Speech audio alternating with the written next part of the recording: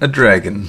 Usually I try and start with the head and figure out how that's gonna, I guess what direction it's gonna face and I guess kind of movement that I want. So it it just depends on the head, you know, and then a body kind of kind of follows. So let's, um, I guess it's just kind of put the head kind of going this way here. So I always kind of draw the top of the head the nose or or the snout. Kind of get that in there. Then we have where the whiskers are going. Then form a little more of the head and the mouth. And then we have the under under jaw here or or, or jaw. Kind of get where the whiskers are going as well here. The head trying to find where the horns are going. Always got to add the ears in. So then uh, the eyes, put those guys in there. Everything kind of has to go on the same kind of uh, kind of a plane here. That way it's not too lopsided. So get a horn here. The other horn obviously is going on that side. So try and make them pretty dramatic and not too not too boring here. It doesn't matter as far as where the horns go, as long as they, just look interesting, you know.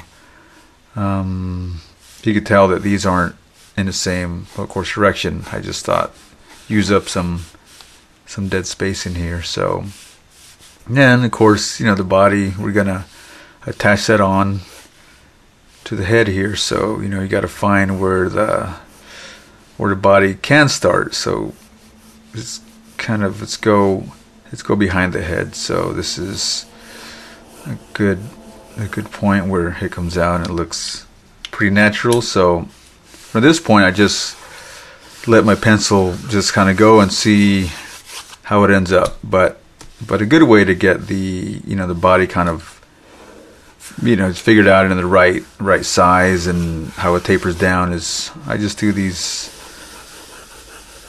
circles here and that kind of that kind of forms it. And that kind of gives me a good idea of as far as where the belly's going to go as well and and the spine and just how it's going to end up I guess looking. So you want to try and use up all the space that you can because you don't want any any dead space. So so that's that's the body there it's just a quick little idea. So from this point, I kind of draw in the body, how it's how it's going, you could you could kind of kind of tell the, the shape. You just got to follow these these these lines, and it kind of just naturally just happens.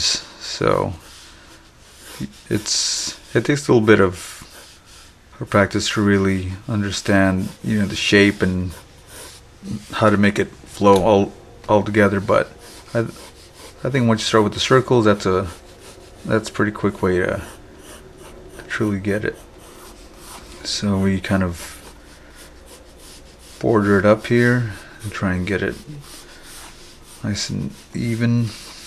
That way, it, it, it always has a taper and not a, and not a major taper, you know, just enough to where it looks, you know, like it's it's not like really thin because that kind of looks odd. You know, you want to have some kind of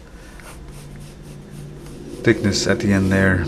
So we have the body. Now we got to find the spine, and then we got to find where the arms are going to attach and the legs are going to attach. And, and and so the arms, you know, they're pretty pretty close to the head. It could either be somewhere around this area, somewhere like around this area, but this is about the furthest I think point that you want to go. Out here, it it it just looks a little bit too far, you know, because the legs still have to go somewhere on the other half. So let's just say if we put the arm, say here, this, this looks pretty natural, and so the other arm is is, is it'll land over there. So we need to see how what space to fill with these arms. So this one, it just seems just a bit more natural to go up here.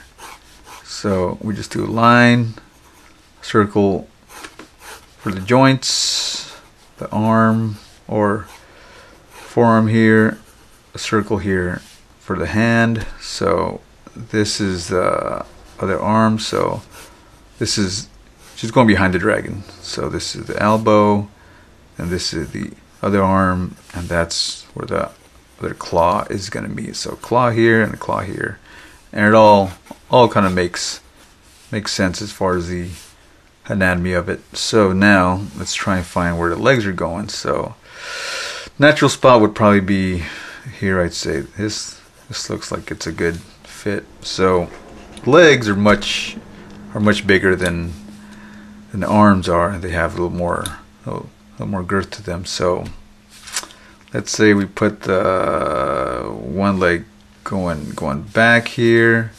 We could make it go this way too, but that's a hard hard stretch. And plus you got this you know this body here. You got a leg here, then you got scales on scales, and it's just kind of too dense there. So let's bring this leg back here.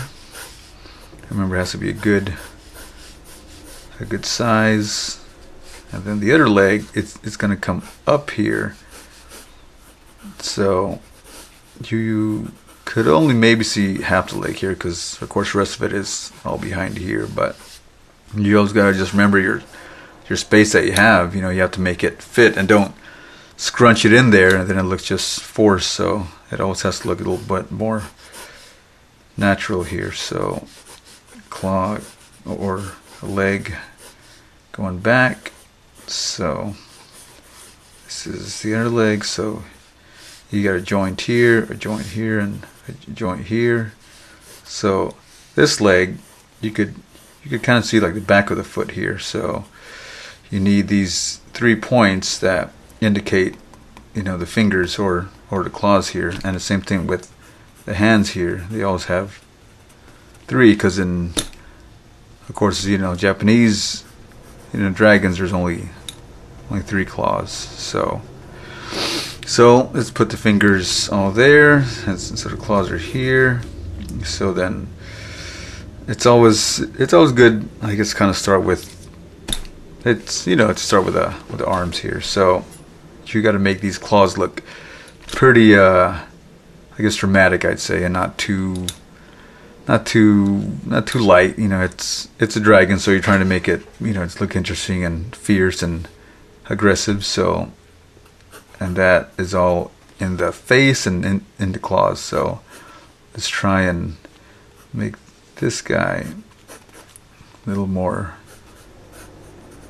dramatic here. So all of the circles indicates where it starts and stops. So these are the claws here. So let's go here. So this is going up, back.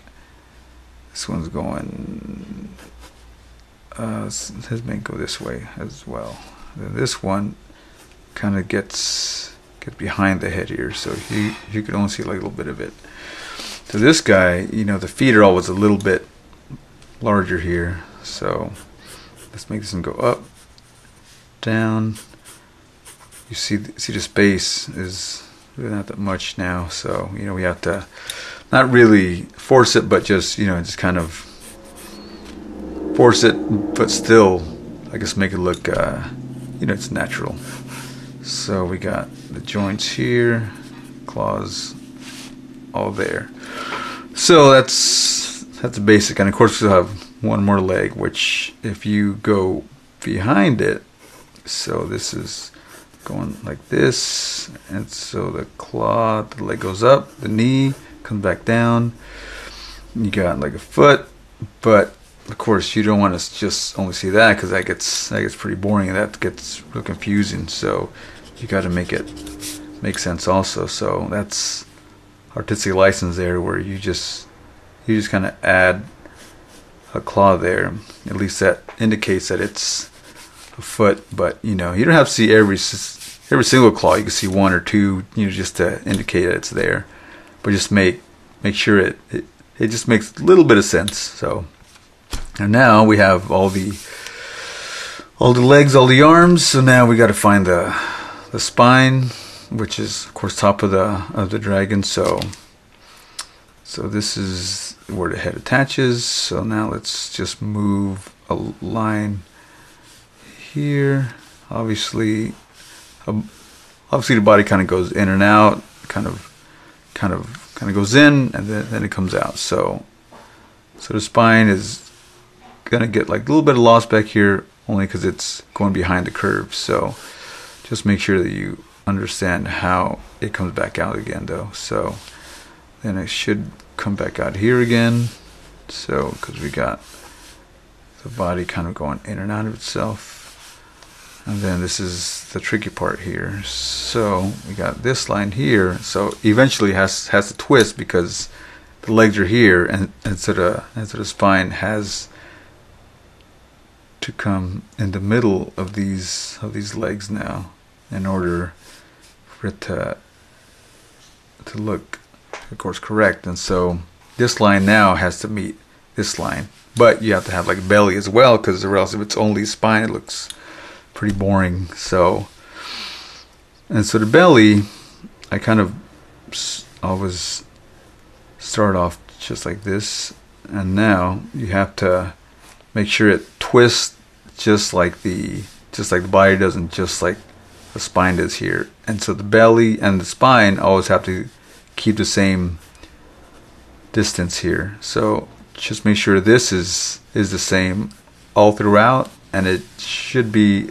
just a natural curvature for the uh, for the belly to come in and out of itself. So this is about there. So let's just see where that's going to end up. And so the belly kind of ends right there. So what usually should occur, you know, just naturally, is that once the belly stops here, it should automatically start on the other side.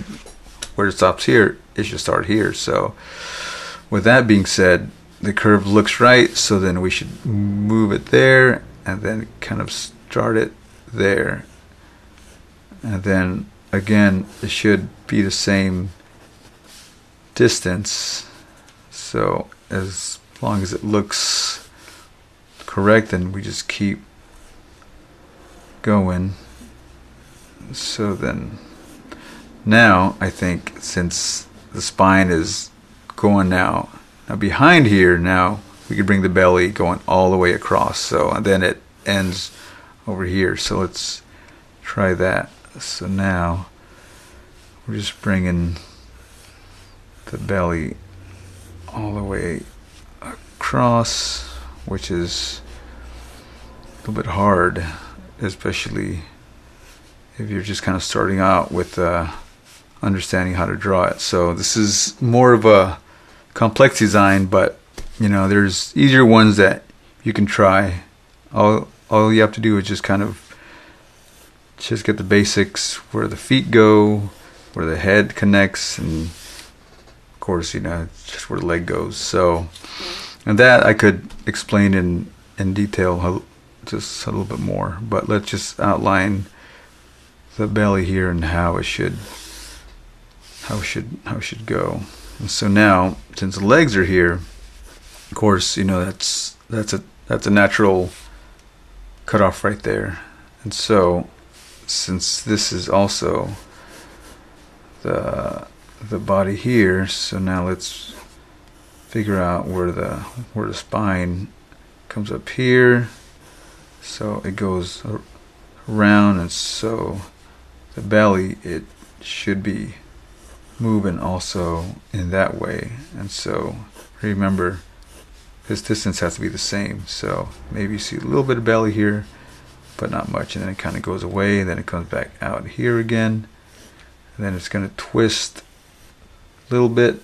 So all the twists don't have to be super super long long curves they could be a long a long long twist but you just have to keep your measurements correct all the way throughout. So, so the spine is about here. So it is, so it kind of stays on top. So and then the body comes up, goes this way, and of course at this point the body is is behind the the leg there. So let's keep on drawing the body a little bit more, trying to get it all in there. So so this this is a little bit hard here because the claw is I guess going to eat up all of that space, but let's still try and figure out where the where the spine is is going. So so this kind of keeps the same, and then twisting here. So then the belly comes out here again. Then comes back out. So then the spine comes out here again and ends about here. So once I start to add the add, add the red to it, it'll it'll make a lot more sense. And so now we got the spine that we got to add. So we just do little C's all the way through just to indicate where the spines are gonna come out. So those get lost. The C's here again.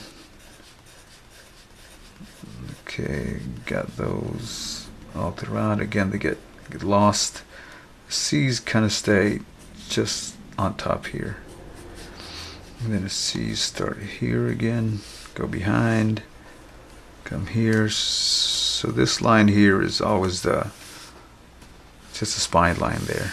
So so that's a rough layout of the of the of the first sketch and after this I draw I draw you know the red red sketch you know and and that really pops out all the all the features of it. So this is just uh, I guess a skeleton of it. And then after that it'll make more sense once I have the red in there. All right so before we start on the red we gotta gotta flesh out this head. I kind of always start with the nose because that kind of builds everything out. Because if, if I started here I'd have to try and, and figure a few things out. So let's kind of start with that. So a nose is always a pretty tricky part. So there's a few ways to do it but I kind of throughout the years I kind of like this style of a nose. It kind of just seems to make more sense I guess. So now I got the nose in, so now let's let's try and draw the brow in here, indicate where where the nose and the head are gonna meet. So I know it's a little bit weird looking, but just wait a few, and then we'll kind of have a basic idea where things are going. So the whiskers or, or the eyebrows are kind of always make them a little big here I'm just gonna give you a quick a, a quick layout and then once I do the red it'll make more sense so head. Horns remember always really big here. Big horns. Whiskers here whiskers here. More whiskers. Big big big big whiskers because a dragon is a pretty fierce animal, so you don't want to make it look too too light. Ears somewhat big as well. Then of course I'll just explain how the head and the and the neck all all connect because I think that's a major process there. So we got everything kind of figured out there. Now let's go through and just flesh it out with the with the red. That way it'll make more sense because the green is just uh, I guess a skeleton. So let's figure all that out.